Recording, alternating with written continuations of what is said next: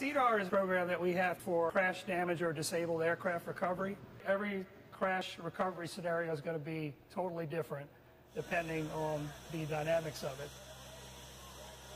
Dunnage is four by four wood pallets you place on the ground first. There's four, and then you do four the opposite way, and you hook in the, the stabilizers in between so they're all stuck together and they won't move. So then you place the airbag platforms on top of those. We were able to lift the bags higher with the, the dunnage being on the bottom of the airbags.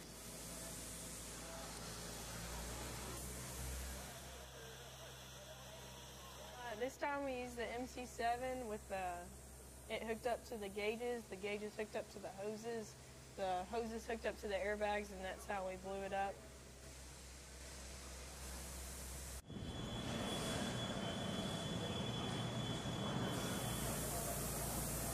During an exercise, we don't actually lift an aircraft. Um, we don't want to cause any secondary damage or initial damage just doing a training scenario.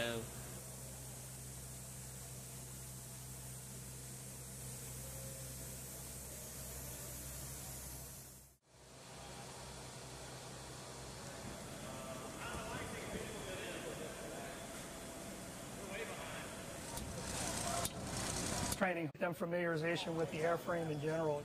How would you do it in this scenario if, the, if a gear was collapsed on one side, if the nose was collapsed? The importance of the training is to get every team member hands-on experience with the equipment that we would actually use in mishap. This training hopefully will get everyone up to speed, you know, to be able to respond to any type of situation we would have to.